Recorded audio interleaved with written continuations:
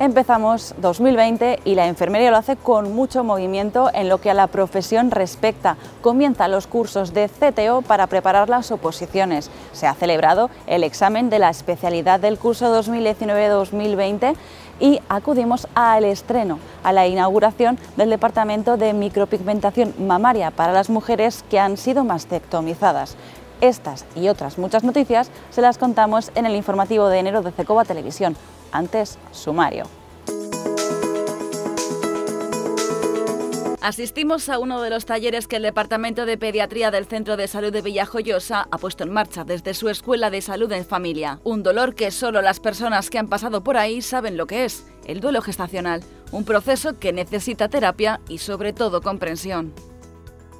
Los malos tratos y abusos a mayores lamentablemente están a la orden del día y por ello desde enfermería se analizan las causas y soluciones a un problema que nos repercute a todos. Ya queda menos para la OPE de la Comunidad Valenciana y con el objetivo de conseguir una plaza fija, cientos de enfermeras se presentan estos días a los cursos de preparación de un examen que les dará estabilidad laboral y a la vez mejor y mayor atención al paciente.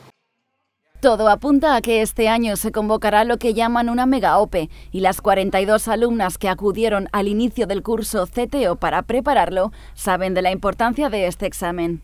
Ante la trascendencia de esta prueba, el grupo CTO ha incluido algunas novedades para ayudar al alumnado a conseguir su objetivo, como el cuadernillo con el que este año cuentan, así como el campus virtual, una herramienta con la que acompañarán a la alumna hasta el día del examen con multitud de recursos. Todo esto rodeado de un campus virtual donde van a tener un apoyo tutorizado y donde van a tener pues todas las disponibilidades de videoformación, videoflash con reglas mnemotécnicas y todas las herramientas didácticas de hoy día. Vídeos interactivos, eh, videoflash con técnicas, con técnicas mnemotécnicas y bueno, pues muchos test, eh, un generador de preguntas, ultra resúmenes, un montón de herramientas que les va a ayudar a conseguir su sueño que es conseguir la plaza.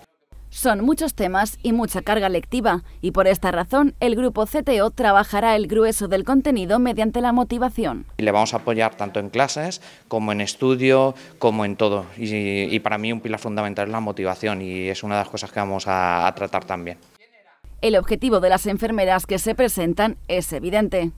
Aprobar, tener una plaza y una posición fija y una estabilidad, que eso es lo que deseamos eh, todas. Por seguridad, por mantener una plaza. Este curso, además del contenido académico, les ayuda a nivel organizativo. La organización que falta en casa, el que te dan el temario un poquito más estructurado de lo que una sola hace en casa. Todavía no se ha concretado temario ni número de plazas, pero se prevé que ronden los mil puestos de trabajo que alcanzarán las enfermeras en esta OPE, en la que se augura que la nota sea uno de los factores más sustanciales. Fueron muchas las enfermeras que se presentaron el pasado 25 de enero al examen de LEIR, una puerta de acceso que les permitirá desarrollar una especialidad y unos cuidados más concretos durante dos años. Me gustaría hacer matrona. Me gustaría hacer comunitaria. Me gustaría presentarme a comunitaria. Quería ser matrona. Cientos de enfermeras aspiraban el pasado 25 de enero las 1.463 plazas que el Ministerio ha convocado para elegir de este año. En la Comunidad Valenciana son 130 los puestos destinados a enfermeras internas residentes en las especialidades de obstétrico-ginecológica, salud mental, enfermería del trabajo, enfermería pediátrica, familiar y comunitaria y geriátrica. Yo trabajo en neonatos, eh, me encanta eh, la pediatría y me gustaría, me gusta mucho la especialidad de matrona y la única manera de poder trabajar de matrona es haciendo la especialidad. Llevo seis meses sin parar, el esfuerzo ha sido muy grande y ojalá, ojalá que, que luego los resultados se vean reflejados. Están nerviosos como todos los años y llevan todo el año preparándoselo y lógicamente pues quieren aprobarlo y se ponen muy nerviosos a última, a última hora. Entre nervios, apuntes, repasos de última hora, todos ellos se presentaban a un examen que llevan preparando largos meses para lograr un mismo deseo. Voy a darlo todo. He estado todo el año preparándome y nada, vamos a ver, yo creo que saldrá bien. Sobre todo que el esfuerzo que he invertido en este examen, o sea, en, este, en el examen se vea reflejado y nada, pero espero tener esa ansia de plaza. Una prueba que llegaba con notables faltas de asistencia debido a la celebración de la oposición recientemente, indicador por tanto de buenas noticias para los afortunados. Un EIR 2020 que además cambiaba su formato. Este EIR con respecto a otros años eh, consta de una hora menos de duración y acorde a ello hay 50 preguntas menos en el temario. La suerte ya está echada y muchos de ellos alcanzarán un sueño. Los que no lo consigan desde CECOBA les animamos a que sigan aspirando a la especialidad porque la enfermería les necesita.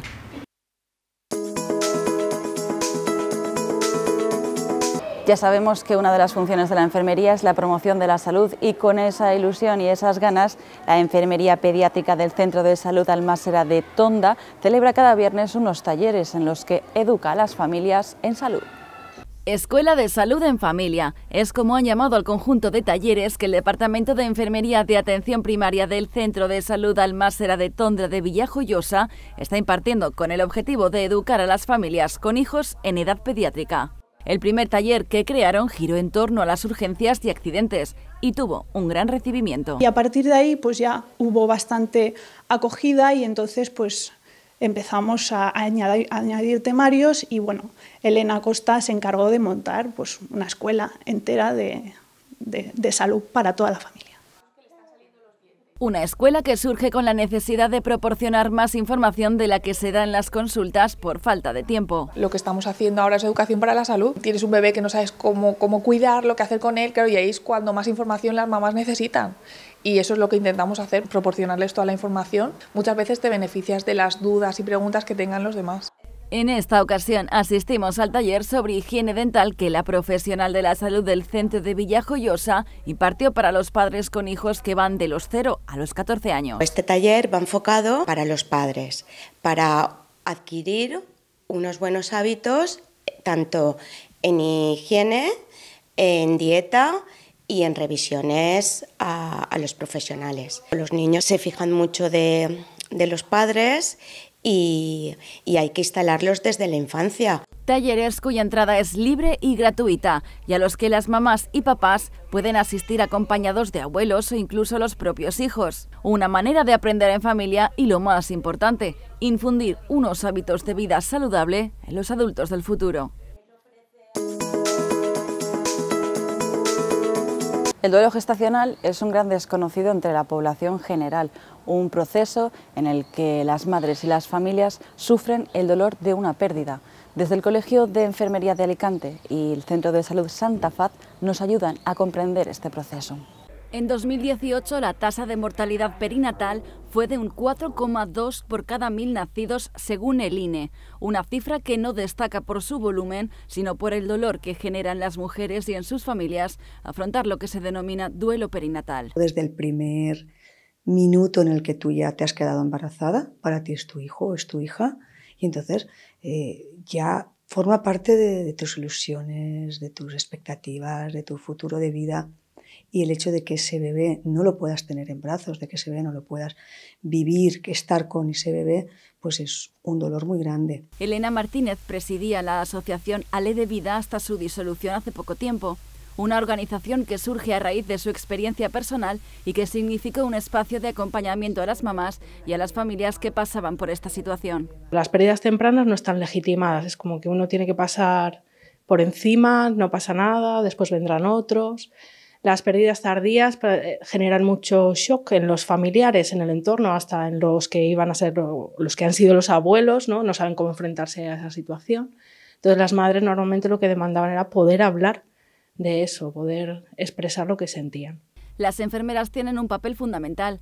En los últimos años hemos podido pues encauzarlo y sobre todo saber cómo actuar de una manera pues eso, más profesional y más formada. Desde el Colegio de Enfermería de Alicante se llevan numerosas acciones para acompañar y visibilizar el duelo perinatal. Todo tipo de, cosas para, para intentar que, que, en la prensa también salga y que esto no sea una cosa de oscurantismo ni algo que no se deba de nombrar. ¿no? Creo que tenemos en la sociedad un poco de tabú con la muerte aunque cada madre y cada pareja lleva el proceso de manera diferente, el dolor es común en todos los casos y el apoyo y la comprensión vital para superar un dolor que, como su propio nombre indica, duele. El Colegio de Enfermería de Alicante y la Unión Democrática de Pensionistas de España han celebrado la 49 edición de las jornadas sobre violencia y abusos a personas mayores, con el fin de sensibilizar a la población y analizar las causas que lo provocan. Los malos tratos y abusos a la tercera edad es una realidad invisible que se sigue produciendo en nuestra sociedad. El Colegio de Alicante ha realizado la edición número 49 de las jornadas sobre malos tratos y abusos a personas mayores, un evento organizado por la Unión Democrática de Pensionistas de España en el que participaron representantes de diferentes estamentos sociales como el policial, la justicia o el asistencial. El objetivo de esta jornada es sensibilizar a la población sobre esta situación y poner sobre la mesa causas y soluciones para erradicarla. El maltrato donde más se está produciendo es entre personas que están aisladas, que de los cuales uno de los maltratados es una persona dependiente, que está siendo atendida por otra persona con una carga tremenda y en esas condiciones, y además que están totalmente aislados del resto de vecindario o de familias. las personas mayores pues tenemos todos unos problemas eh, por la edad, por, por los eh, lugares donde residimos, que hoy en día está todo el tema de, de despoblación, etcétera, etcétera, y la soledad muy importante también para los mayores, y entonces también los malos tratos son unos malos tratos que no son denunciables por parte de los mayores porque no saben cómo denunciar, no saben cómo retransmitirlo. En España, el 7% de las personas mayores sufren malos tratos, producidos generalmente por su pareja. La detección de indicios de esta violencia es el primer paso, y en esta labor participan profesionales sanitarios, sociales y judiciales. La ayuda de los familiares es clave, evitando la soledad de sus mayores y aumentando el interés por ellos. En este proceso, el papel de la Administración es determinante a la hora de ofrecer los recursos adecuados, puesto que no solamente van a ser recursos económicos, sino que tienen que tener muchas veces la asistencial, la residencial, una tercera persona que les ayude, así el cuidador es el agresor. Entonces, evidentemente, los recursos sociales son importantísimos, incluso para tomar la decisión de denunciar. En la jornada se presentó el programa No Sujetes de la asociación Dignitas Vitae, que promueve la eliminación de la acción de sujetar a los pacientes ante situaciones de dificultad, una tendencia que se produce más habitualmente cuando se trata a personas mayores. El problema es sensibilizar a la gente, porque lo primero que hay que trabajar es a los profesionales de que se convenzan de que eh, sujetar no es ningún tratamiento. Entonces eso es difícil, ¿eh? llevamos toda la vida sujetando para, para tratar y convencer a la gente cuesta.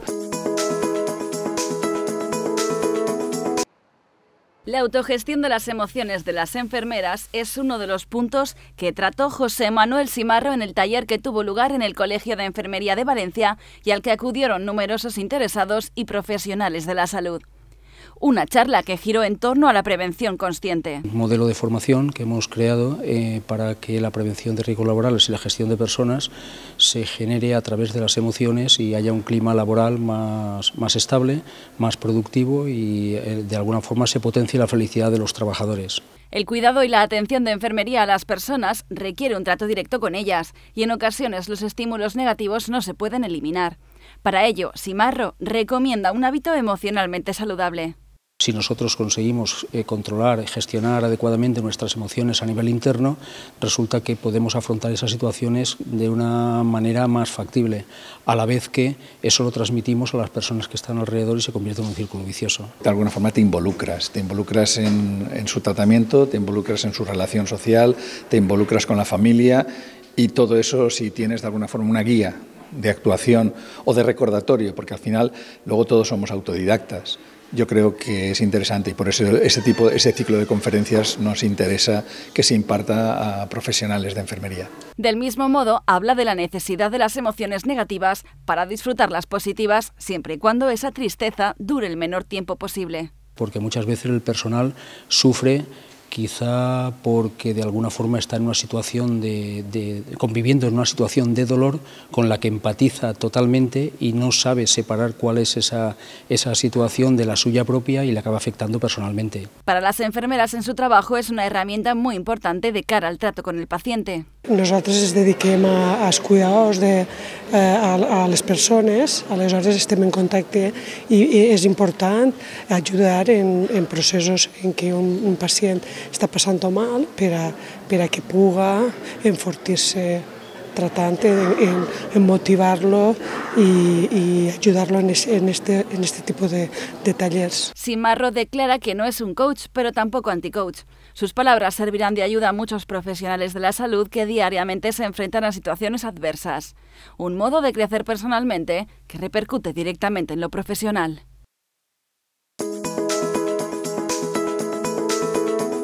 Y hasta aquí este primer informativo de 2020, el informativo de enero, y desde Onda nos despedimos hasta el mes que viene.